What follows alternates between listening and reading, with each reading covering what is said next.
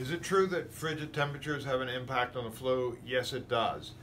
Um, what ha- one of the prominent theories about why the flu seems to come in the winter months is just that the air is drier and what happens is when you're infected by the flu and you are talking to other folks, coughing, sneezing, doing those type of things, that those droplets spread much further. In the summer, when there's more moisture in the air, the droplets containing the virus, the active virus, drop to the ground, whereas in the winter, they get projected.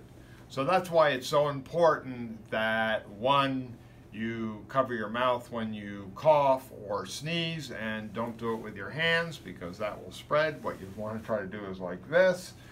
Um, and it's very important, of course, washing, you know, washing your hands and keeping things clean.